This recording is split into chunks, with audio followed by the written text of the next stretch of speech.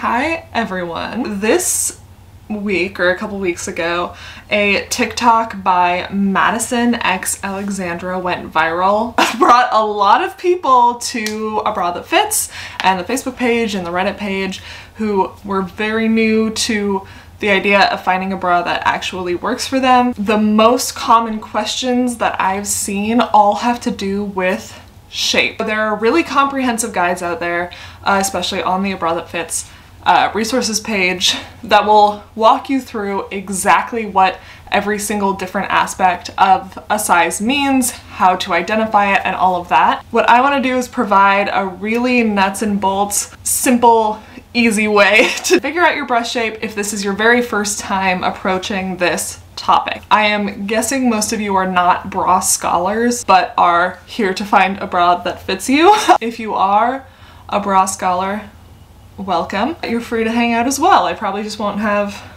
new information for you. Breast shape is a really important part of the conversation that often gets left out because it doesn't directly correlate to size. But if you have spent your whole life trying to find a bra that fits, never finding one, somehow the bras are too big and too small at the same time, you were recently told that you're actually a triple D and not a C cup like you always thought you were, and just in general, you've never felt like a bra really fits you perfectly, really like clicks with being comfortable and looking right and not moving throughout the day. So a lot of this does have to do with size, but a lot of it also has to do with breast shape. So if you've tried on things that you've been told are your size and you've been like, this is way too big or way too small, but the wire fits, you're just not filling it out or you're overflowing, then that's gonna come down to your breast shape. Today we're going to look at projection, the root of the breast, and the fullness of the breast. That's essentially how big is your breast compared to how much it connects with your body, and I'll explain that more in detail. Where does your breast connect to your body? And then what is your breast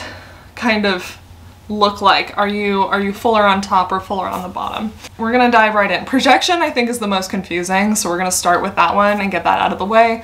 Um, and these ideas are all kind of interconnected, but again, I'm gonna try and I might kind of over explain it. I'm gonna give different examples, probably too many metaphors, and uh, we're just gonna we're just gonna dive in.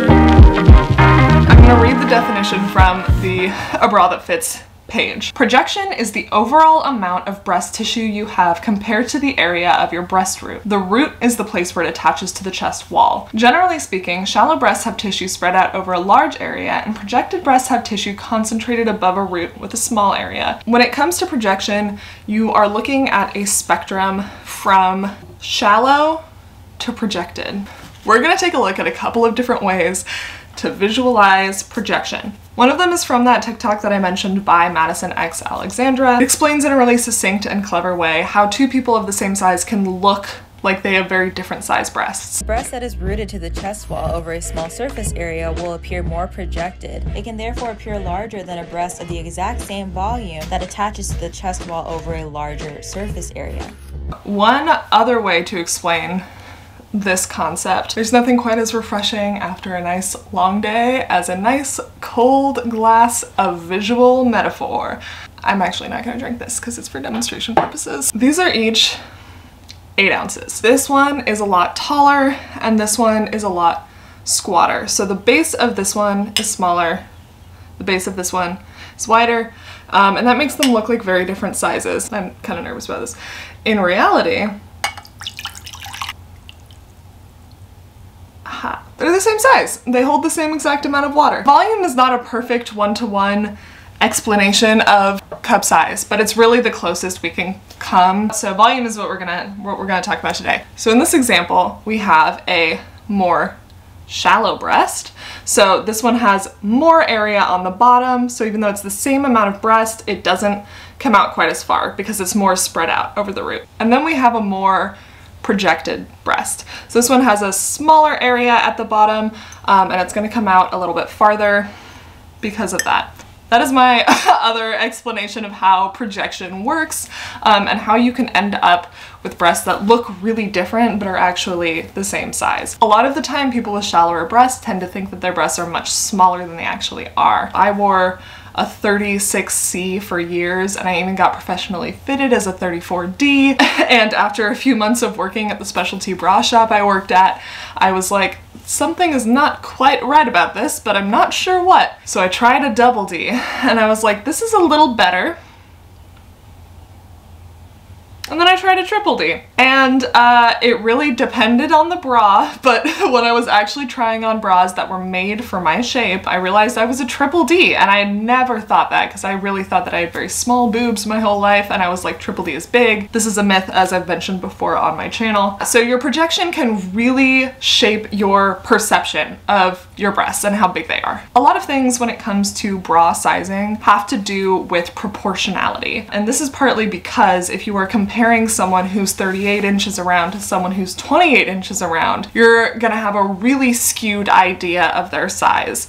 So instead you wanna compare the size of your breast, the projection of your breast to your own body. In this case, you're comparing how much breast tissue you have to the root of your own breast. So this has a really big impact on how bras fit and can be especially confusing. So I wanna break it down and talk about just some common issues that come with each one. If you have shallow breasts, you likely have problems such as not filling out the top of the cup on bras.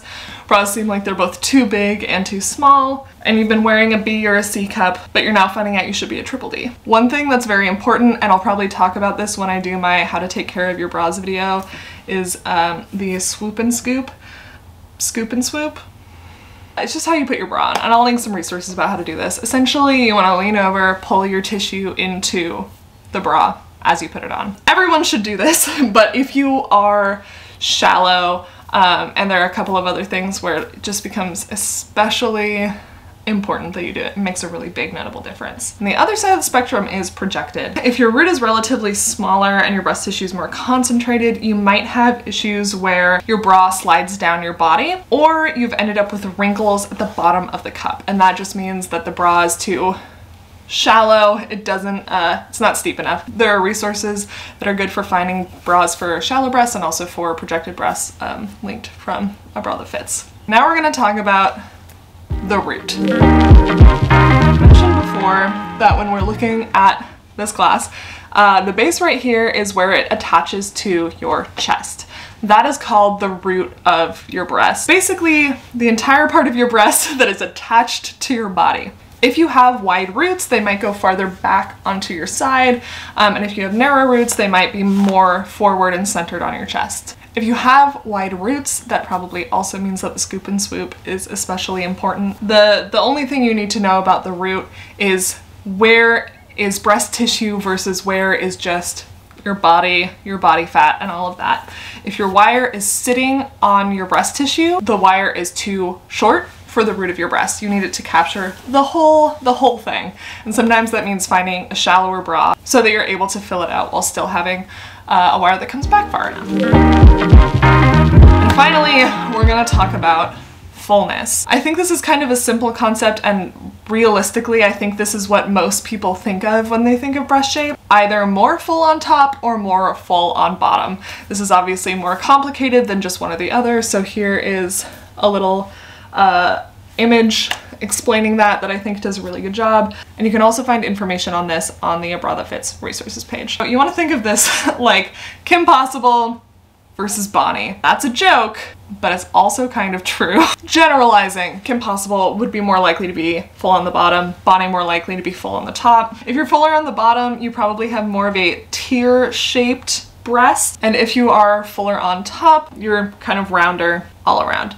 So if you're full on the bottom, you might have issues where you're not filling out the top of the cup of your bra. And again, this often leads people to try and buy bras that are sizes too small so that they can fill them out. But again, this is something where you want to find a bra that fits right for your shape uh, rather than changing the size and sacrificing comfort uh, and support for that matter. If you're full on top, you might have had issues with the uh, bra cutting into your tissue at the top or spilling out. If you're really not sure, you're probably not too intensely on either side. I think people generally have a pretty good idea of whether they're full on top or on bottom. But if you're really not sure, check out more half cup demi bra styles because they just don't come up as high so they're much more suited to many different kinds of fullness. That is all I have for you. I really hope that this helped. The thing about shape is I feel like you want to feel free to explore it at whatever pace makes sense to you. So there are a lot of these kind of daunting terms that ultimately are really helpful. But if you're just getting started, really all you need to understand is how your breasts interact with certain shapes of bras. Maybe long term, these terms are going to be really helpful in diagnosing those things, but the first step can be you diagnosing what issues do I commonly have with bras? Why? What shape works better for me? Um, and if you kind of start with that mentality, it'll become easier to pick up different information about sizing and everything as you go. And I feel like it can just be a little bit more accessible. I learned about all of this very much just intuitively because I was doing bra fittings. I never got taught any of that stuff that I just told you until a couple years later when I found a bra that fits and started reading up on stuff and I was like, oh, that's why. So I kind of knew intuitively what, but I didn't know why. And I think that that can help in the beginning, starting with a little bit more of a what, saying what are my problems, and then maybe that's my bra is cutting in. I never fill out the cut anything like this. And then that will make it easier to understand the why as you start doing the reading, the more technical reading um, and looking into these terms. But also, realistically, again, I'm sure most of you are not boob scholars uh, and you can probably just get by figuring out your own shape and what shapes work for you. So I hope this was helpful. Um, again, I'm linking resources down below that will explain things more in depth. If you have a pretty good idea of your shape, you can find lists of bras that are good for your shape on a bra that fits. Um, and also feel free to ask me any questions and I will try and answer them. And that's all I have for you. So I hope this was helpful. Let me know if you have any other questions and I will talk to you guys next week. Bye.